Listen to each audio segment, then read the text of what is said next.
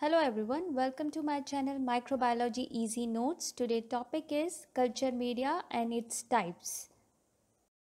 So what is culture media? Any liquid or solid preparation containing basic nutrients like carbon source, nitrogen source, mineral salts etc. which can support the growth of microbial life called culture media. Now, what are the function of culture media? Culture media supports the growth of microbial life by providing necessary nutrients.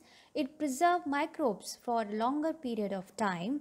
It protects microbes from outside environment and helps laboratory personnel to study microbes. The idea of culturing bacteria was first introduced by Robert Koch. He used fresh, clean, boiled and sterile potato to grow bacteria but it was not an ideal object for culturing as bacteria does not grow well on potatoes. Then he used gelatin on sterile dishes to grow bacteria, but that too was not a complete success as gelatin was easily consumed by another unwanted bacteria and get melted on low temperature.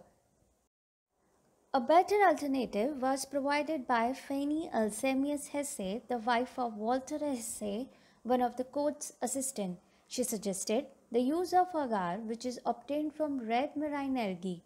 Agar worked well as a solidifying agent because it was not attacked by most of the bacteria and did not melt until it reaches a temperature of 100 degrees Celsius. And now types of culture media. Amount of solidifying agent decides the state of media. On the basis of that, culture media can be of three types. First is liquid media, also known as broth media. Another is semi-solid media and solid media. Liquid medium or broth medium. It is liquid in nature because it does not contain any solidifying agent. After incubation, growth of cells visible in the form of small masses in this medium. Liquid medium is used for propagation of a large number of organisms and fermentation studies. For example, Luria Bertani broth. Semi-solid medium. This medium contains 0.5% of agar. Consistency of this medium is like loose jelly. It can be selective which promotes the growth of one organism and retards the growth of other organism. This semi-solid medium is useful for cultivation of microaerophilic bacteria or for the determination of bacterial motility. For example, sulfide indole medium. This medium is used to check motility of the organism. If the organism is motile, it will spread out into the medium from the site of inoculation. If the organism is non-motile, it will remain at the site of inoculation. You can see this in the picture. Solid medium. This is the most common type of medium. 1 to 2% of agar is added to this medium to obtain solid agar. Normal and routine culturing is done on solid medium. This agar is used to make agar stab or agar slant for preservation of microbes for a longer period of time. For example, nutrient agar.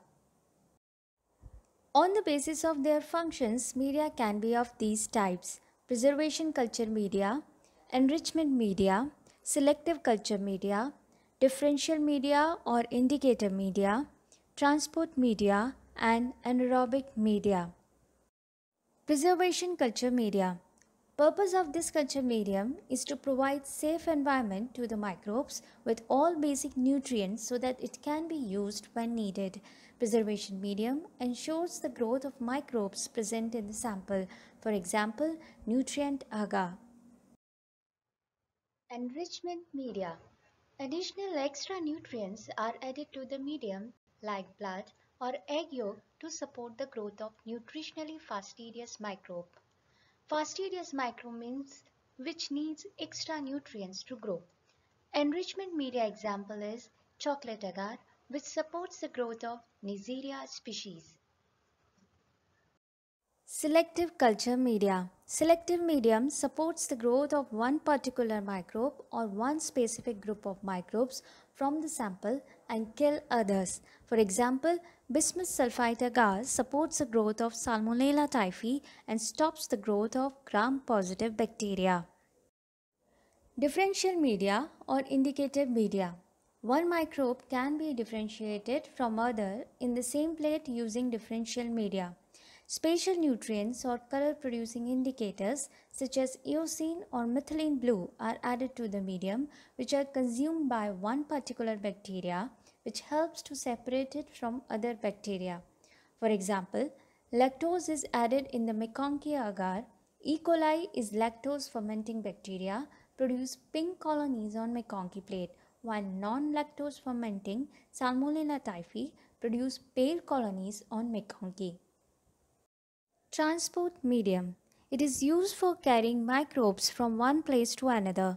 Transport medium does not support the growth or multiplication of microbes. It only helps to maintain the original state of the medium. Transport medium lacks nutrients like carbon, nitrogen or any other growth factors. It only contains buffers and salts. For example, buffered saline water.